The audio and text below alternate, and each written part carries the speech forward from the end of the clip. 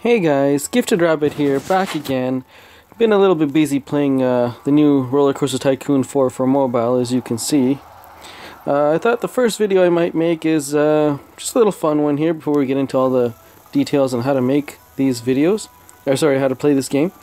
Uh, I have, uh, as you can see up here at the top left, 60,000 and some change.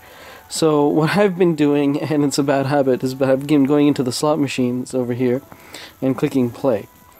Now, I know it's a gamble, but uh, as you can see up here in the top right, I got 60 grand, which I just played something and I don't even know what I played, but that's okay. What did I win? Nothing. Okay, good. So, uh, I click here to make 20 lines to give me the best odds, and I'm going to bet a total of 1500 per line. So that's a 30,000 coin bet.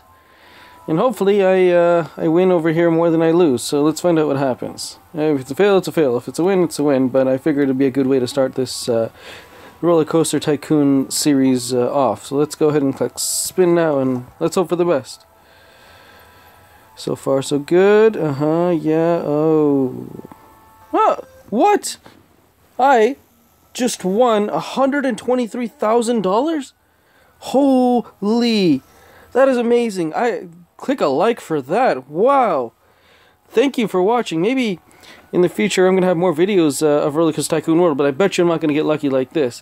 Anyways, like and subscribe to The Gifted Rabbit for more. Thank you. Bye.